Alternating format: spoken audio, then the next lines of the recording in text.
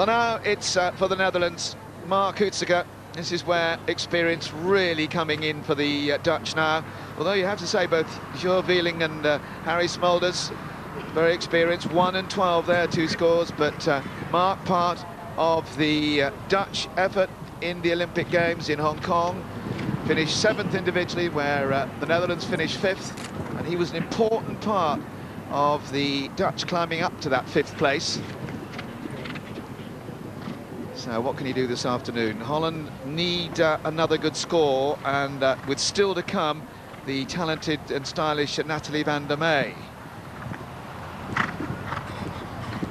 Marc, he's a very effective rider, holds his horse strongly between his hands and legs.